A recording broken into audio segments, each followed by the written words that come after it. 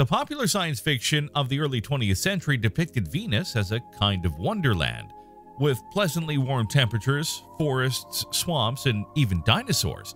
A kind of Jurassic Park where someone already wanted to bring someday rich tourists. Today, Venus is unlikely to be perceived as a dream destination for would-be space tourists.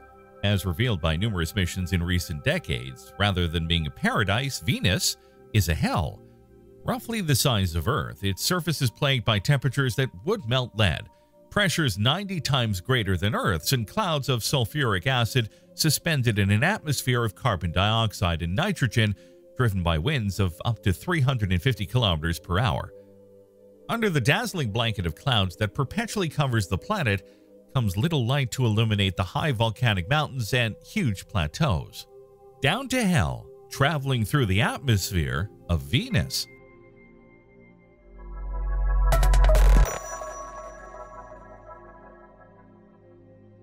Hey there, want to give your kids a boost in their science classes? Are you a homeschooler who want to engage kids with chemistry experiments? Choose Mel Science, as we are leading ED tech company making science accessible and fun. Mel Science offers a range of topics like chemistry and STEM. Each month you'll receive a set with up to three awesome experiments. Their subscriptions are for ages 5 to 13 plus and include free VR and AR lessons on the Mel Science app. Mel Science is much more than a simple kids experiment box. It's an educational platform. This app allows kids to actively engage in first-hand experience. If you have a busy schedule, don't worry, Mel Science app provides live lessons from professional PhD teachers. Let your kids engage with the science experts and ask intriguing questions on the live chat. If you'd like to get 60% off your first box, follow the link in the description or use the promo code Curiosity60 and get 60% off the first box of any Mel Science monthly or annual subscription. Mel Science app is designed by experts and approved by professionals and parents regarding safety issues. Subscribe to our channel and educate your children through fun. If you are here watching this video, it means that you are passionately curious about human spaceflight and the mysteries of the universe. We constantly strive to make videos that excite a curious person like you. So subscribe now and be sure to press the bell notification so you never miss out on the updates about the cosmos. It's all true. This planet is a hellish world of hellish temperatures, surrounded by a toxic, corrosive, and frighteningly heavy atmosphere. Despite this, today, March 14, 2047, I find myself here aboard a Havoc type airship, which stands for High Altitude Venus Operational Concept. This is not the first aerostat to float in the atmosphere of Venus. It is in fact since 2037 that NASA and ESA have started the exploration program of this planet. The plan is to use airships that can stay in the Venusian atmosphere for long periods. The aerostats are filled with oxygen and nitrogen, which are lighter than the elements that make up the Venusian atmosphere, and therefore allow them to float while providing a large supply of breathable air for the crews. Strange as it may seem, Venus's upper atmosphere, the one I'm in now, is as close to Earth's environment as there can be in the solar system. The atmospheric pressure at 55 kilometers altitude is about half that at sea level on Earth, and the temperature varies between plus 20 degrees Celsius and plus 30 degrees Celsius. Incredible or not, under these conditions, I could even go outside wearing a respirator and a simple non-pressurized chemical-resistant suit. Almost a paradise. Not to mention that the layers of clouds give us a good protection from radiation coming from space. There is plenty of sunlight to generate energy with photovoltaic systems and gravity is 90% of Earth's. The airship that is hosting me is not the only one to navigate in these parts, but it will be the first to bring down to the surface a pressurized probe, able to withstand the pressure and the heat of that hell that is 100 kilometers below our feet. If all goes well, I will be the first man to step on the ground of this absurd world, Otherwise, I will simply be the first to die on it.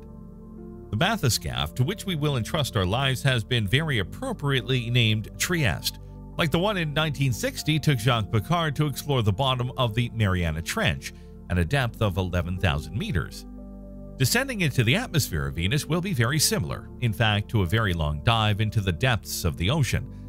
In this will accompany me the pilot and friend Don Walsh, who will have the task of managing all the parameters of the mission. The probe basically consists of a two seat, spherical shaped cabin measuring 2.54 meters in diameter. It is constructed entirely of tungsten carbide, which is basically a light alloy of high resistance to wear, corrosion, and heat. The heat from the outside is absorbed by a lithium nitrate trihydrate thermal accumulator and heat exchanger. Two onboard cameras face outward through 2 inch thick quartz portholes. The sphere is attached to a carbon fiber balloon covered with 12 centimeters of honeycomb insulation. The balloon, 25 meters in diameter, is filled with gases lighter than Venus's atmosphere at the time of ascent, and that should allow us to make our way back to the mother blimp that awaits us 50 kilometers higher up. Before that, however, there will be the most dangerous part of the entire mission. In a special pressurized suit, I will have to pass through the small compensation area located just behind the seats. Open a hatch and with all the caution of this world, try to make a few steps on the surface. Just enough time to collect some pebbles and some data on the ability of the suit to keep me alive. March 15, 2042. We are already on board the Trieste and free of all ties with the mother airship we are ready to descend by progressively releasing a certain amount of the gas contained in the balloon. The onboard computer calculates the ideal descent speed and the amount of gas to be released. T minus zero. We are at an altitude of 100 kilometers. For the next 10 kilometers, we will cross a very thin layer of the atmosphere, practically undetectable. The temperature is minus 114 degrees Celsius. The sky above us is absolutely black, a sign that we are immersed in an impalpable atmosphere. Despite this, the anemometer indicates that the wind is blowing at a speed of 349 kilometers per hour, an oddity that we still cannot understand. Venus rotates very slowly, taking a good 243 Earth days to complete a full revolution around its axis. Yet you heard me right. One day on Venus is as long as 243 days on Earth. It is even longer than a year, which on Venus is only 224 Earth days. Even so, Venus's atmosphere rotates 60 times faster, so that the thick clouds that surround the planet take only four Earth days to complete a full circle. The fast moving atmosphere transports heat from the side lit by day to the side where it is night, mitigating temperature differences between the two hemispheres. There is still no certainty as to the real cause of this superrotation. The fact is that in an uncontrolled descent like ours, it is necessary to calculate well the effect that the force of the wind will have on our final destination, which should be Navka Planitia, the place where Venera 7 landed on December 15, 1970, the first probe to touch the ground of Venus. T plus 37 minutes. We leave the highest layer and plunge into a layer of haze, at times clearly visible, formed by tiny drops of sulfuric acid.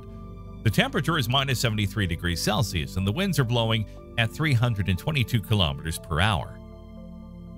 T plus 1 hour 53 minutes. We proceeded to descend about 20 kilometers until at an altitude of 70 kilometers, the fog began to thicken and take on an amber yellow color.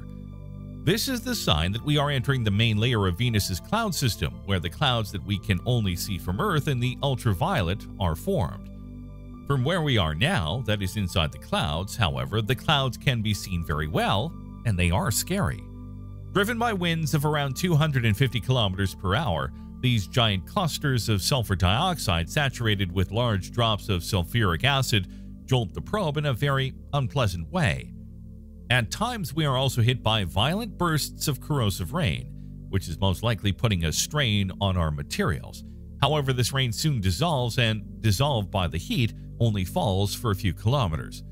At around 55 kilometers altitude, the pressure is the same as it would be on Earth in the high mountains, and the temperature even becomes spring like. We have reached the altitude where our mother airship floats, along with many others. The wind, held back by the ever increasing pressure, gets weaker and weaker. Lightning, if there were any, it would be trouble for us, but fortunately, the fear of dangerous electrical activity on Venus, widespread until 20 years ago, has since proved unfounded.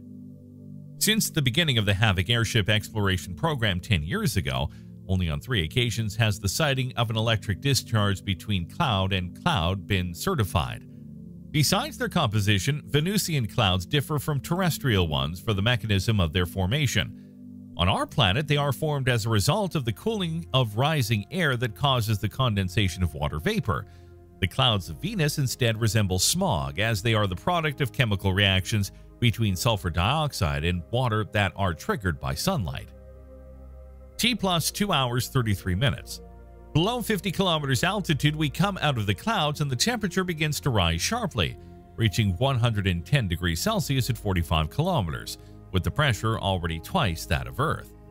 The temperature is so high that the sulfuric acid particles dissociate again in sulfur dioxide and water vapor, thus preventing the formation of clouds. From here on, up to 30 kilometers, we descend much more quietly through a layer of fairly thin mist, composed of very dilute sulfur dioxide. For the first time, we can see the surface, while the winds decrease in intensity and slightly exceed 100 kilometers per hour. At this moment, we are the first human beings to see Venus as a rocky planet with a walkable surface, and not as a whitish ball of gas. Seen from here, the general coloration of the planet is gray ochre with an orography more similar to that of Titan than of Mars. The impression is that of a once thriving world, where then something must have gone wrong. Venus was perhaps a habitable world for most of its history, then destroyed by the greenhouse effect in an uncontrolled process. At some point in its history, the dense CO2 atmosphere spewed out by explosive volcanic activity must have heated the planet, causing the oceans to boil and also all the residual water vapor condemning the planet to death with all that inhabited it. T plus 3 hours 33 minutes. At an altitude of 30 kilometers, even the very light haze that had accompanied us after leaving the clouds disappears, and the atmosphere appears completely clear. The external pressure is 22 times higher than the Earth's and winds are blowing at 90 kilometers per hour. But the most worrying thing is the temperature. We are already at 300 degrees Celsius, and Don tells me that the lithium thermal accumulator is starting to show some discomfort. We decide to proceed anyway. T plus 4 hours 14 minutes. At an altitude of 10 kilometers, Don again informs me that we are quite far from the planned landing point and that we will probably miss the meeting with Venera 7 by at least 40 kilometers. It doesn't matter. That would have been the icing on the cake, but it was certainly not the main target of the mission. The important thing is to land on safe ground.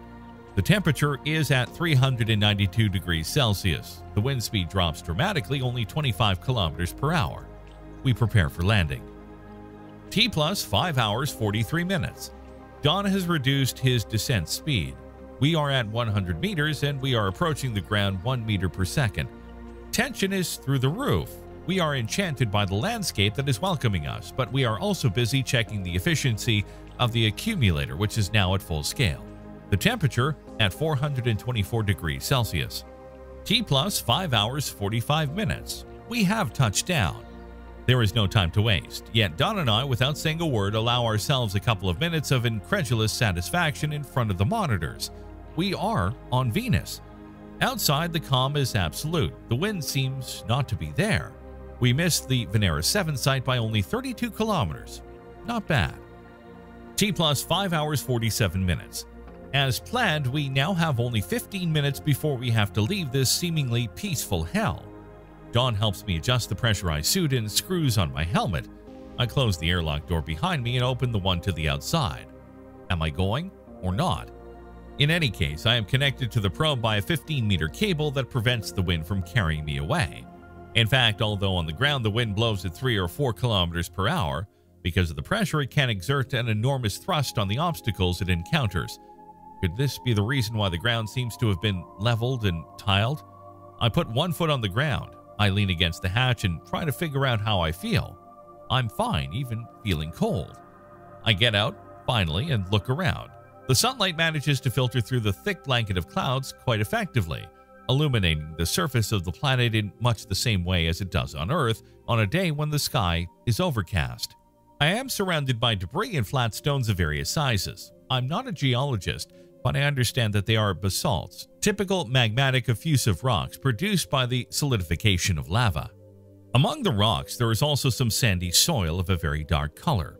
I don't feel the heat, but I feel the pressure exerted by the wind, like that of a large hand trying to push me forward with force, but very slowly.